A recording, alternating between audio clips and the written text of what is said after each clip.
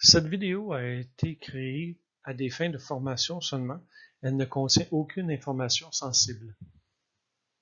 Nous allons voir dans cette vidéo la magnéto haute tension, la magnéto basse pression et la synchronisation de la magnéto sur le moteur.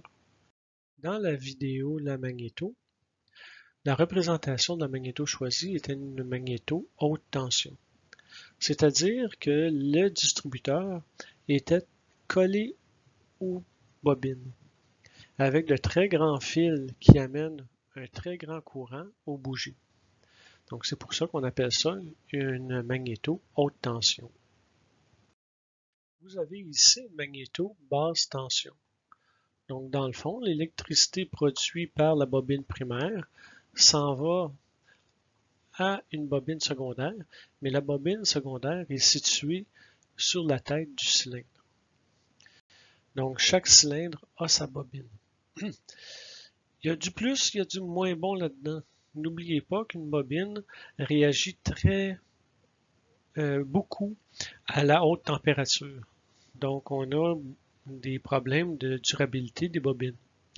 Mais par contre, ces bobines-là, ce magnéto-là, permet d'avoir euh, plusieurs cylindres donc des moteurs avec beaucoup de cylindres, donc les moteurs radio à 7 ou à 9 euh, cylindres.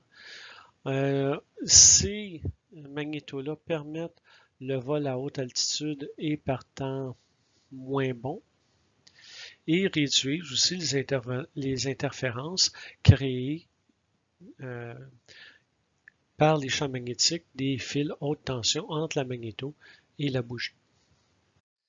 La synchronisation des magnétos s'appelle le calage. Il y a deux sortes de calage, le calage interne et externe. Le calage interne signifie simplement qu'on va tout simplement synchroniser notre aimant avec le distributeur. Donc, en passant par les rupteurs. Donc, on va tout simplement mettre notre aimant dans une position au moment où le rupteur va ouvrir. Ça veut dire qu'il devrait y avoir un feu ou une étincelle produite à notre, notre euh, bougie. Et on va venir mettre le distributeur en lien avec cette position-là de notre aimant. Et notre étincelle va se rendre à notre bougie au moment où le piston va être au bon endroit pour recevoir le flou. La synchronisation interne est faite tout simplement avec la boîte rouge que vous avez dans la photo à gauche. Donc, cette boîte-là, on vient brancher le fil rouge à notre rupteur et le fil noir à la masse. Et lorsque la cam ouvre le rupteur, la lumière de notre boîte va tout simplement s'allumer.